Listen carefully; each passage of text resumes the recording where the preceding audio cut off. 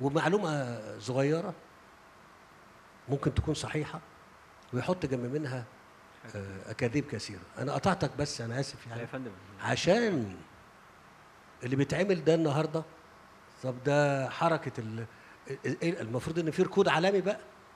طب إزاي النهارده ركود عالمي والسنة اللي فاتت ومع كورونا ولا ده ودلوقتي حجم ال- الدخل كده؟ لأن في اعتبارات أخرى. بتدرس. في هنا كيان جوه الهيئة بيدرس كل شيء بما فيه ال- الرسوم اللي بتتحط والواقع العالمي وحركة ال- التجارة. ومش بس كده وتكلفة تكلفة النقل. عشان في الآخر يقول إيه؟ رسومنا كذا كذا.